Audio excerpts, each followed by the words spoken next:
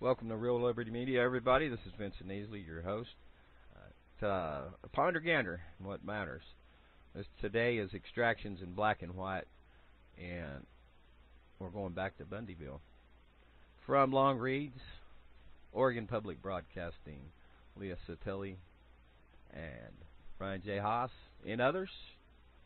This is the a look at the second season of uh, Bundyville, season two called The Remnant. I look at this uh, digging into the depths of depravity. It's a war of the words in peace and safety, the faith in worldviews. And one's a religion of pieces, and the other one is in pieces. And uh, through this uh, picture there I just showed, now that's supposed to, and uh, it doesn't line up. Trying to go from the actual um, publish in the uh, yeah, the, just the uh, format but anyways, it has its meaning right there. So you might see what appears to be a sword through there, and or maybe a cross, and uh, that's all meant to uh, push upon and ponder towards this uh, these ideas of the way the world works. And I say we haven't seen it, or we ain't seen nothing yet. There's uh, now I took a part of that from a song um, that Kate shared. It was uh, "We Ain't Got Nothing Yet," but I I morphed that into "We Ain't Seen Nothing Yet." And from the from the mind of man to what man minds in the human experience. I've taken uh, also our communication from the chat. Anti, thank you. The instruments are co of control are mostly in place and operational. Race war, riots, revolution. It need not come to this. In shades of gray. And again, that radio writing. So how you hear it, how you see it, or looking at this uh, Longreads Bundyville the Remnant. I'm going to start out first in the. I'm going to move in another direction. Uh, well, opposing direction, I might say.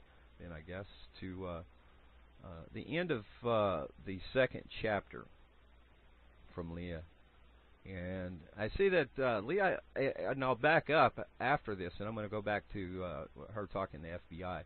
And so I, I want to say there lies hope here that uh, through it all, what we can see where she's going and the direction uh, and hope that she can find path to uh, explore this in greater depths. Now, last two uh, paragraphs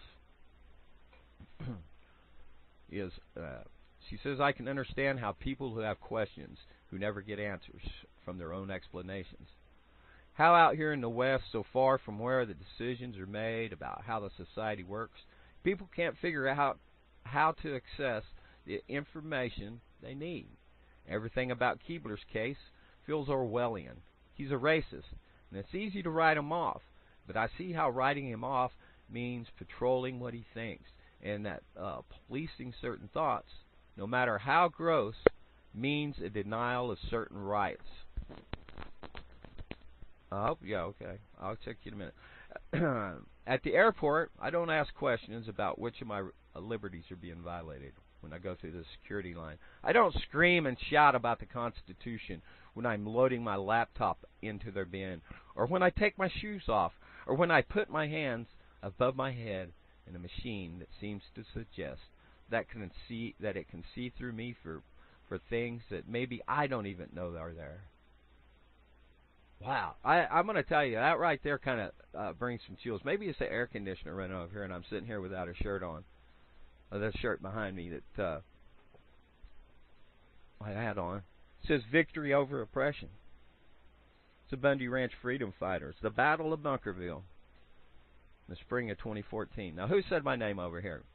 Uh, Oh, you ain't seen nothing yet by uh, Bachman Turner Overdrive. She shared a different song. It was earlier than that, Governor. Kate did. Okay. Now, back to Bundyville.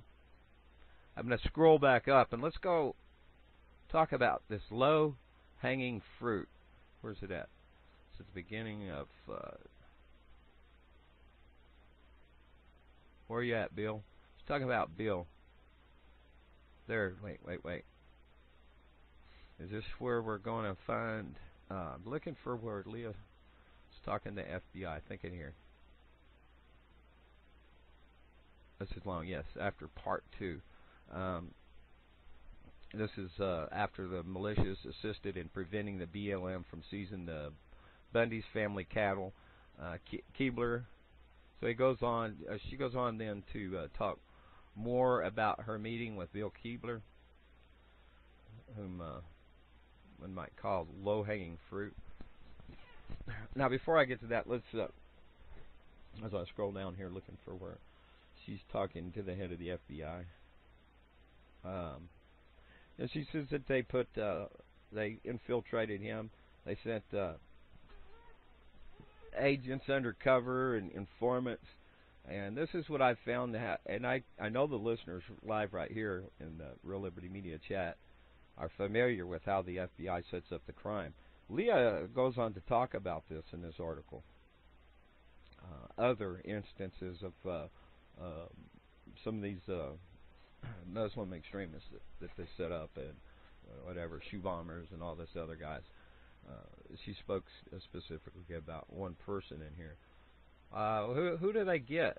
Well, they get people that they can influence. They stack the deck, really, don't they? Uh, according to the defense, one informant was paid $60,000 for his undercover work inside the militia. The stories the FBI agent gave to Keebler must have seemed like a like he'd found a gold mine. Uh, David's stories of his expertise in hand-to-hand combat, Miller positioned himself as an expert in mining explosives. Another FBI agent played the part of a successful business guy interested in funding a militia. Unlike all the other times Keebler imagined the government conspiring to snoop on him, this time they actually were. Hmm. But he was so focused on the deep state that he didn't seem to notice what was happening right in front of his face. As the FBI surveyed Keebler, he frequently spoke about martial law. Under martial law, sick. under martial sick law, yeah, Mr. Keebler expected the federal government to turn against the people. His attorney wrote in uh, his sentencing, sentencing memo, memo uh, he envisioned house-to-house -house gun confiscation and the government putting undesirable uh, and unsalvageable people in FEMA camps. You'll have to go over and read. You can also listen uh, to the podcast. So I scroll down here looking for the uh, FBI conversation. Here we go. Thank you. Central to the Patriot movement, many are uh, many are many. What? Let me try that again. I think this is where I'm looking at. Yes, it is. Yeah, central to the Patriot movement are many, many theories about people its members believed are involved in a vast conspiracy against the American people. In reporting the most common names that came up in Patriot conspiracies, aside from Hillary Clinton and Barack Obama, are BLM uh, agent Dan Love, ex-agent uh, yeah, agent of love. Special agent in charge of Dirty Dan with his backdoor dealings. Yes, that's correct. Who led the Bunkerville Roundup at the Bundy Ranch in 2014.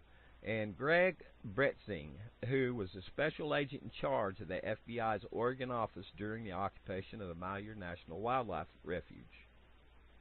After the events at Malheur, Bretzing retired from the FBI. Sure did with a cush job. And now he works in security, safety, and corporate affairs for a private company that builds barges and railroad cars. So, are you plotting a conspiracy with Dan Love against the Patriot movement? I asked one morning last winter sitting in his office. Uh, shout out to uh, Leah for being able to get him to actually talk. I'll tell you what happened to me in Denver, uh, for those that may not remember or forget.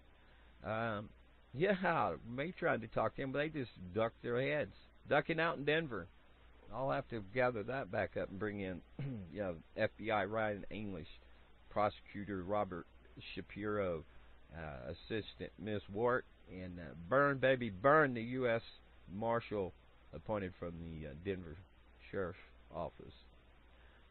Bretzing laughs as I continue with Leah Sottile. No, no, I do not know Dan Love. Bretzing worked for the FBI for 24, 22 years for much of that time on terrorism cases, both international and domestic. Off air, we were talking about the uh, definition of terrorism. terrorism. fear, intimidation, and dread, and who these international and who these domestic ones really are. I want to know how the FBI views and defines international extremist groups differently than uh, domestic ones. The biggest difference, according to Bretzing, is the law. There's clear status uh, statuses against violent acts for political purposes or to overthrow a government, he tells her. The FBI has squads devoted to domestic terrorism. But Bretzing said membership in any group isn't uh, what will get you, will get the feds on your trail, he says. Uh, anybody's political belief, religious beliefs, First Amendment rights, none of that is an issue, he says. uh, yeah. Uh, you can be a member of any group you want to be, and it can be pro anything or anti anything. Uh huh. That's fine. It's when those groups then take steps to commit violent acts or break the law or to do fraud. That is when the FBI and other law enforcement start to look at them. I got to say right here and interrupt. You better pay attention in what you're doing because uh, where it gets you. You start issuing paper and stuff like that and signing things and blood oath or whatever. Not a good idea because if you want to jump in their arena, then they're going to beat you with their own rules. That's the way it works. Someone has to break the law, continuing. Or, like they're going to break the law to get the attention of the FBI. Bretzing is clear. The FBI does not go on fishing expeditions of people it doesn't like. Is that true? Is it re- come on? I don't think it is. I think uh, Leah's going to probably tell us it ain't neither. She says that she tells Bretzing about Keebler's case. It didn't ring a bell, but when uh, when told uh, when she told him more about it, he he says it reminds him of a notorious 2010 case in Portland in, involving the would-be Christmas tree bomber. That's the one I was trying to think of. In that case, a young man named Mohammed Mohammed Mohammed Mohammed Mohammed believed he was detonating a bomb that would have caused large-scale uh, fatalities of civilians attending the city's annual Christmas tree lighting ceremony in the center of the city. You could go on reading there, um, see if I can get down here to where I want to be. I think maybe this is. I'll, I'll just skip the end of this part of the uh, article here. Uh, no, I got to back up. I got to back up. Here, let's start here. Having uh, undercover agents inside is important to both effectively gather the evidence and to ensure that nothing violent actually does uh, take place. Uh, throughout, uh, uh, elsewhere in here, I believe she points out where uh, they go. Well, I know she does. But points out where they go get this low-lying, low-hanging fruit. These people that are vulnerable to suggestion. Um, Bill Bill Keebler, Jeanette Finicum will talk about in a video I'm going to play here in a bit um, about his uh, where his role in it, how it differs than what uh, uh, Leah here portrays in her article. Um, let's see, we we don't have to do this. Well, it doesn't have to come to this, does it? And should they really be setting up crime?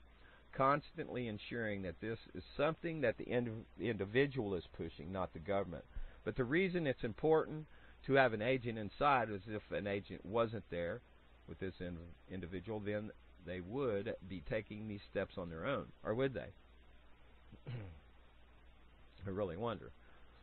Uh, the public would, uh, well, uh, I, I've got to back up and say there are people that that do take steps on their own, uh, and I would example, um, well, the the militia on the border. Say, for instance, some of those people. Uh, little dog was look at that that guy. Uh, look at uh, uh, Screwy Louis. What's his name? Louis uh, Louis Arthur. You know there is these screwy guys, but do you need to get in there and uh, direct this to fund it, or should you just like? And you got surveillance. Can't you, if you're that worried? Isn't it cheaper than all that sixty thousand dollars for one guy and all the money you're spending to uh, um, build them up. That icing, that promise, that, that cake. The cake is a lie, right, Grimner? Yeah, remember that? Look that up. Uh, the cake is a lie. Put that in there, Grimner, in chat for me, would you? Where it actually comes from. From that game, that video game. Yeah, that promise at the end that uh, is not there. Just keep doing the things. And that's what it is. Absolutely, the cake is alive. Um, but how can how can law enforcement agencies be so sure people will go on to commit acts of violence? And what's the right way to go go about or to go after domestic terrorists? Uh, she asked Karen Greenberg, the director of Fordham Law School Center on National Security, these questions. For years, she's been examining cases that have shown uh, that show an intersection of national security policy, human rights, and these civil liber civil liberties. Uh, Greenberg is extremely cautious of creating uh, uh, overarching laws that target domestic terrorists. Uh, Washington is looking for the for a, a domestic terrorism statute and on to say that part of the reason is they want to be able to have uh, greater surveillance powers. Uh, there's there's laws in place now with getting getting warrants uh, and so forth for surveillance, and I, I wonder. Um, thanks, Rose. I wonder what's wrong with that. What's wrong with uh, staying lawful and instead of going extra, extrajudicial, right? I I giggle there because uh, Rome's uh, gave me cake in uh, the chat room. It's uh gives gives Vinny a yummy little Welsh cake and serves it with uh, some small chocolate sauce. That's very nice. Thank you. I appreciate it. Yeah, thank you, Grimner. It comes from Portal, the game, uh, the video, video, video game. You know, video games ain't they the ones that's causing all the violence? That's what I hear. What about the red flag uh, laws, and what about uh, the killings? These these shooters, and are they ex- right wing wing extremists or uh, left wing? Uh, they're fake news. Uh, Jeanette will talk about that in that video. This fake news, and these uh, left wingers that uh, are giving, uh, well, fake news out from the mainstream media, influencing people. Uh, yeah, from the New York Times, man with a rifle and body armor uh, alarmed shoppers at Missouri Walmart. He shows up, no shots were fired. He's taken custody by an armed off-duty fireman uh, Springfield, Missouri. That's uh, uh, if you got an antenna up out here and you can catch this uh, digital TV signal, which uh, friends of mine down the road do, you can pick up the Springfield, Missouri news station. A lot different than the one that uh, if you point your antenna in the other direction and picking up in Little Rock. So uh, interesting. That that stems uh, that comes after the uh, the killing down there in uh, El Paso who they said was a right winger, and now it's being said he's a left winger. All right, let me go back. Where am I at? I think I'm about done right here uh, with the uh, part two from season two.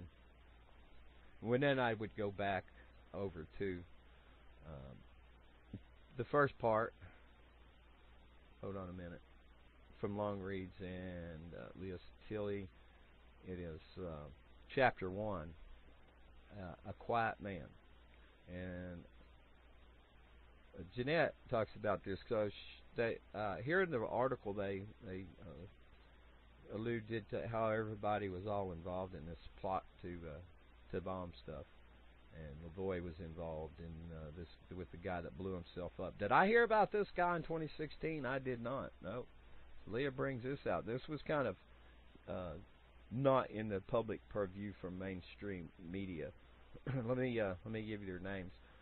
So it was uh, Richard and wife Karen uh, Katchiki, and their house was blowed up by this feller here, a name of what's his name, uh, Glenn Jones, and excuse me. Um, so there had some involvement as he was an employee, disgruntled that uh, employee. Jeanette will tell us and we'll know more about him coming here in just a minute. All right. Video games, yeah. Jeez. I was trying to say it like uh, uh, King of the Hill. What's his name? Down there in Texas. Like he says, batteries. Vidya Games, Vidya, Vidya, Vidya. That's how you say it. Vidya Games. All right. All right, back to where I was at. Somewhere. It's 420 somewhere. And I was at uh, Ponder Gander, yep, right there. let me scroll down a bit. And from there, uh, yes, I have uh, what is called triggered by fake news is uh, that Jeanette Finicum talks about. And I'm going to put now if you're if you're listening downstream, BitChute uh, or in the uh, R log page, the radio log here at Real Liberty Media forward slash author forward slash Vine, uh, you'll find uh, there. Well, and uh, if you're listening to BitChute, you come back to the original Vine here, the author Vinny or Vine that is. Um, to find this link. It's the Family Press release of July 31st uh, from Jeanette Finicum. It's a 10-minute video, and I'm going to uh, play that. But first, I'm going to go push a button to pause, it's not in this recording. Jeanette asked that any of her um, anything that she has out here on the YouTube uh, get prior permission to uh, republish.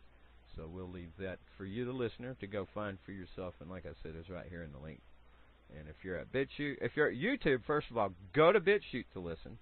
Tell uh, tell YouTube to get Bit and take you ponder gander to BitChute. Uh, and you can also listen here at the RLog page. And I will push pause as we ponder the under it. Thanks, Jeanette Finicum. And again, that'll be in the Artunicated radio log the link for that. Uh, she talks about several things through there, trying to associate Lavoy Finicum with uh, domestic terrorism. Points out that he's never pointed a gun at anybody and didn't think he ought to. Now, let me let me say in here before I come up uh, to read out news that uh, people have said that Lavoy was uh, suicide by cop. Well, and within the uh, article from Leah, she says, uh, and she talks to Lavoy's brother and other things, and all this other that she comes to say that uh, uh, he wanted to uh, be killed by the police. Well, uh, the way I see it is Lavoy uh, knew what uh, what might come about and what would probably be like his taking a stand. Did he uh, did he provoke it? Well, if you look in the videos, uh, the analysis of uh, the assassination of Lavoy Finicum. Um, you can see where all these lies are, are uh, exposed. And say he was reaching for a gun. I say the gun was planted. You heard Jeanette talk about how they had patrolled the, and held off the crime scene there, tracks to and from his body. Uh, the way the pistol was positioned inside his uh, denim, denim jacket, excuse me, a lot of evidence to go to show that it was uh, planted. Was he reaching for a gun, or were those tickle shots? Were they hitting him with rubber bullets? I think so.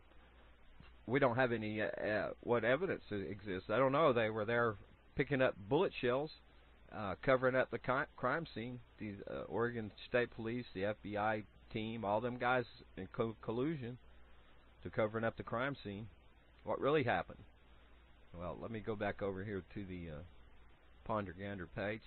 and from Redoubt News, let's uh, let's open them up here. And uh, written by, let me scroll here. Elias Alias.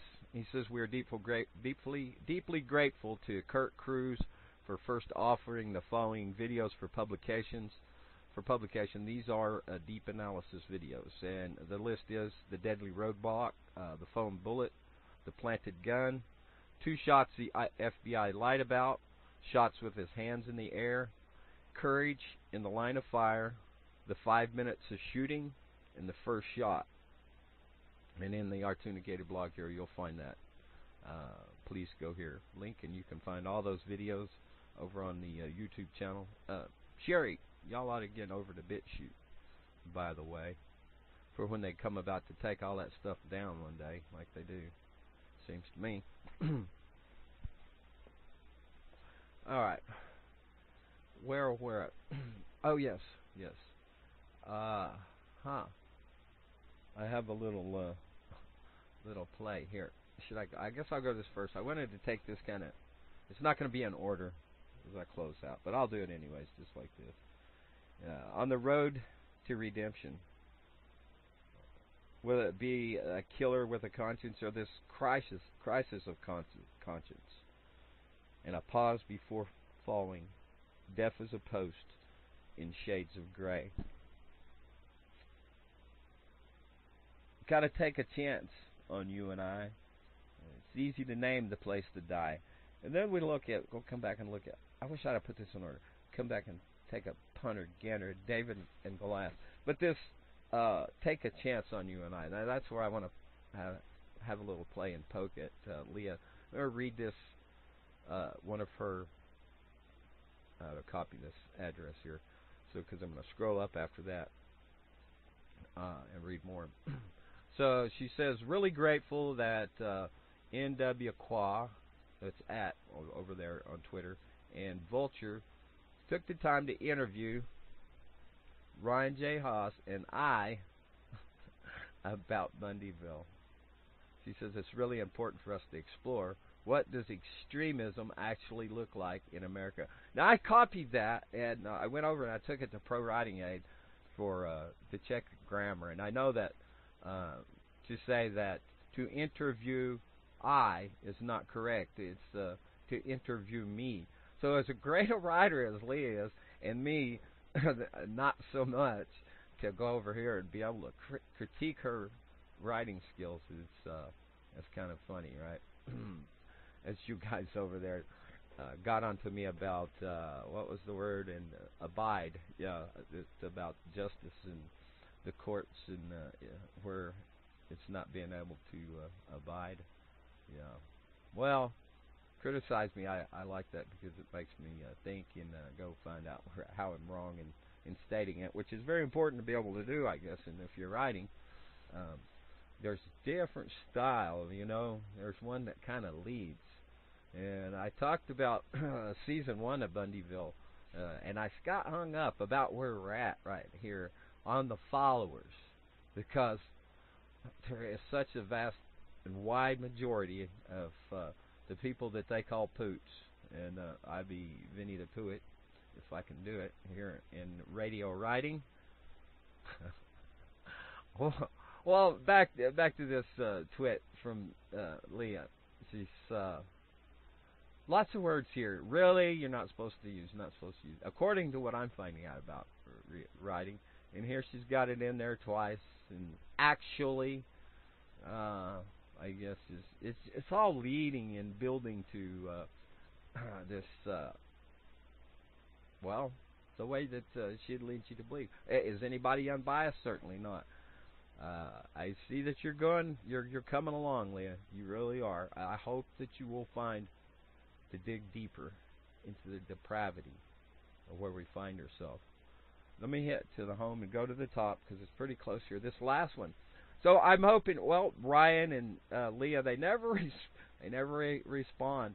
And hey, I can go do a screenshot and he's showing in the date where uh, they had the date the the uh, the month wrong in their uh, upcoming output of uh, Bundyville as it was being released and had it in June instead of July. Not even a thank you, Leah, of all things.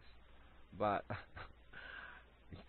I, I think about back in uh, Las Vegas at the federal courthouse and uh, that they um, uh, um the the sketch reporter Hecto just looking at at me like I'm a terrible monster that poots. you should unblock me, Hecto, from Twitter. I should go ask you, I guess. And uh, yeah, here we go. This let me click on it. So we've got some five star and one star ratings here. Uh, female radio journalist achieved unlocked voice deemed shrill from Leah Satilia. Picture that. I guess she screen captured that. Turn down the shrill. Turn down the shrill, please, or get a new host. The host voice is rough on the ears, says Camping Brian. I don't think she's hard to listen to at all. I, I think uh, the podcast is uh, very uh, easily listened to. Yes, I did say easily. Uh, hooked from the word go. Uh, that it's a five star, where the previous uh, was from actually from sweating trip something bird, however you say that. And this one was actually from Camp and Bryan. It gets five star. A wonderful, albeit terrifying, look at the dark section of American citizenry. And back to one star from Vader78. Horrible podcast filled with left wing hate speech. In a podcast where the reporter is typing, trying, uh, let's see, is trying push her own. Yes, you need a two in there. Uh, push her own so-called anti-hate agenda. She can't help but let her own intense hate caps for the right, Christianity, and basically anyone who doesn't agree agree with her uh, course through her court with her course through her words and gush out her pores. So calling reporting like this is what is helping to stir up the violence in our country. This podcast should be banned for hate speech. Shut up, banned. What? Banned speech. I give you less than one star, sir. Uh, poorly wit written research. Much of the story is missing and many facts are fabricated to fit the journalist's story. Uh, this is another example of OPB, Oregon Public Broadcasting, and fake news inciting hate. Poorly done. I mean, a lot can be said uh, to all of that. Certainly, uh, this uh, Poots versus the Patties. I wanted to share that. Uh, there's there's good and bad in there, and even in the bad, you can pull out something that uh, actually rings. But this is obviously, I, I guess, on a left site. Now, Jeanette said too that uh, privilege of uh, of media of press. There, there's no privilege there. It's for everybody, no matter how bad or poor or terrible things that they say. Be it for you or against you, it uh, it has to be said. Without that, I mean, what do we hope to uh, be able to? Uh, how, how can we uh, hope to get through understanding this uh, this world that we're in. Mark Pitcavage, uh, he talked about his grandma living down there in El Paso, and more. Let's see, what was I uh, going to do here now? Next, I think I've uh, brought a lot of it all together that I had intended. Talked uh, there. Um, oh, let's see. Wait, there is. There is. Let me open up Where's yet? From Shauna Cox. sent me this. Thank you, Shauna. And this comes from uh, Paul Stramner, not Stram, Strammer, paulstramer.net. Uh, Lincoln County Watch. There's a video in there, so I'll have to come back and bring this page into the uh, the uh, radio log here to about one El Paso shooter was a left-wing progressive and not a white supremacist. And talked about that earlier, so I'll have to bring that along. And what's this one over here? Uh, oh yes, uh, red flag laws and TAPS Act uh, from KrisAnne Hall. This is for uh, further pondergander, a further ponderganderance for you to do on your own. I'll pop them in uh, two Yes, log. I think, I think, I think, I think. Oh, here's one that's of significance, I guess, too, from uh, Oregon Public Broadcasting. Uh, Coos Sheriff acknowledges monitoring of uh, fossil fuel pro project opponents. Um, is that wrong to do? Mm-hmm. Well, I guess maybe you might say that they didn't insert any uh, undercover sheriffs to uh, to get him to go do something like I don't know what what would they do? Uh, blow up the dam. Uh, same type of people that you know want the dams removed down there. It's crazy. You're not going to protect them. But there's uh, Hal and and I, most uh, especially Hal Anthony from behind the woodshed here at Real Liberty Media, talked about the uh, the uh, pipeline up there in the the, the Dakotas, the no uh, the no DAPL movement up there, and where uh, where that went wrong. And you know, there's people in prison there too. They gathered them up if you're going to stand, you need to learn to stand right, certainly, and uh, guard your words. uh, and and filter through the stalking horse because when anybody's getting involved in something like uh, any of these issues from here in Coos County, whether it be left or right, uh, there there people are are being inserted certainly uh, into the movement and to steer and direct it, uh, whether within or without, to uh, influence public opinion. Definitely want to keep your eyes open and uh, your mind's eye as well. What uh, what lies in the mind of man, and what will bend the mind of mind, the mind of man mind. Jumble that up for you. Uh, where else do I have? Um, let's see, let's see. I, I, think I'm actually done, pretty much. Uh, see, here's from uh, Tom Lockavar. I do actually want to include that. Uh, just say no to gun control. At least uh, two out of three shootings uh, have crystal clear evidence that they had individuals who came forward in the Garlic Fest, and one man, a personal friend of ours at RTR Truth Media, who had been trying for some time to lawfully carry but was denied. Well, he is now dead after shooting his son to save his life. What? After shooting, after shielding his son to save his life. What? I, I Tom posted me this, but I didn't get a chance into to taking a closer look here. Uh, we're gonna have to definitely open this up from Tom at RTR Truth Media. Wow. have to look closer at that, and uh, I'll leave this also in the artunication for you to follow. Uh, this talking about ten bills and and on. And said, uh, "I'm gonna I'm gonna leave this for you to come to find yourself because I haven't read it either, and I will have to." From Tom, I'm correspondent with RTR Truth Media right here at RealLibertyMedia.com. RTR, Truth Media. Check them out. Tom Lockavar Stewart, friend of mine from Bunkerville. Been in contact over his years. He also went on up to the Oregon standoff at the Malheur Refuge. And, oh yes, I'm not done, am I? That's right. Let's see. There are, on both sides, there are those that accept death uh, for their, their goal to preserve a life uh, one that at least the way they perceive it should be, or maybe even make it uh, move in that direction. We see that uh, certainly from both sides. So how do we understand this world if uh, if it was on a plate before us? It's would it be breakfast, lunch, or dinner? And is it the food or the time of day? And is uh, is it the same time for everyone at the same time? What if you slept in and until dinner time and you ate when you ate dinner and would be your breakfast or what if you decided to go ahead and have bacon and eggs and then would that not be breakfast well that's kind of convolution that we see when uh, we're looking at this world that we're in right? Everybody has a different perspective on it. Um, David and Goliath.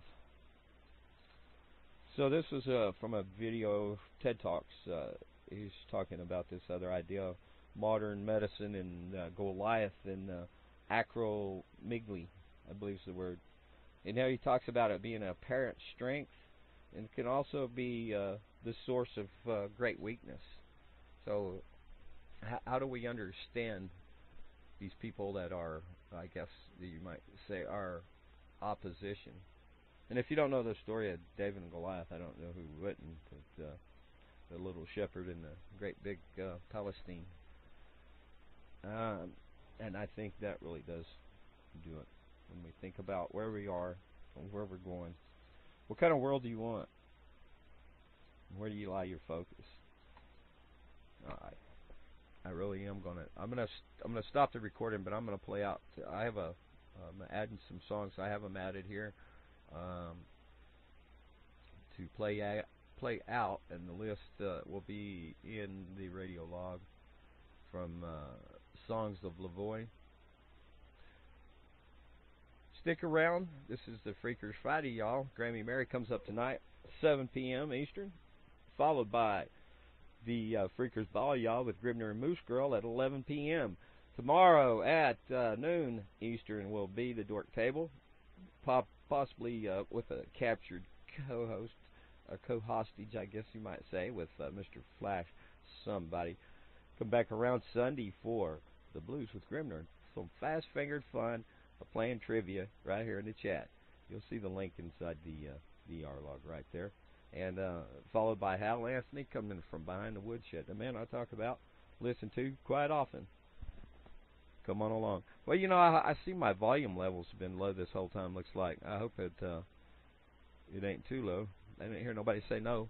Anyway, so yes, right here behind the woodshed at noon o'clock on the left coast. Monday, Grim Leftovers at 7 p.m. and Tuesday, well, it's about 2 in the morning here when uh, Flash Somebody comes back in uh, Perfect World. Grammys again at 7 Wednesday. Thursday, 2 p.m. Eastern. Flash Somebody is got what a deal, such a deal. It's good and cheap, and you can get 20% off. That's right, 20% off right here at RealLibertyMedia.com. Thanks. Come on back. Listen along. Hope you've uh, enjoyed the Ponder Gander. Thanks again.